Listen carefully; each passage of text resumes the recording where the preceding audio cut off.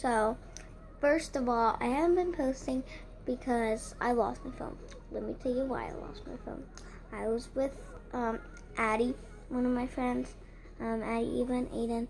I was at their house and we had a sleepover um, because I don't know, my mom was having a party for something.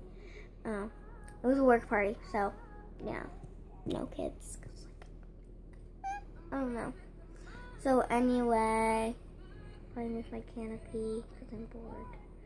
So I can't find it. I haven't posted for three weeks. I know it was really hard to find. I still don't know where it was.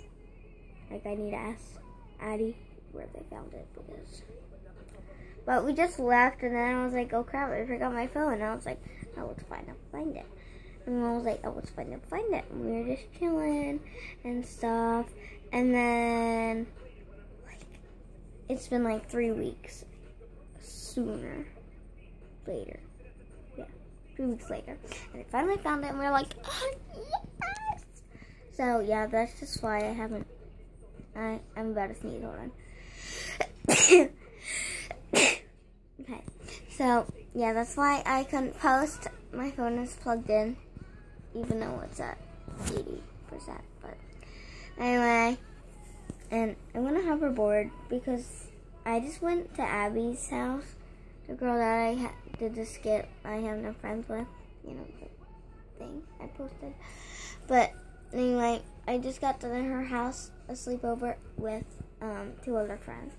And she has a hoverboard, and she just got it for Christmas, and I want it so bad. I want one. And she's the same exact one that Ella has. Red curly hair girl. Same one. And I want it so bad. Like, I just want to play on one. I always played on Abby's and Ella's, but I want on my own. And my birthday's in January, so like, mom, if you're watching, you should really give me one. That's what I want for my birthday present. But just saying, like, I do. Anyway, thank you for watching.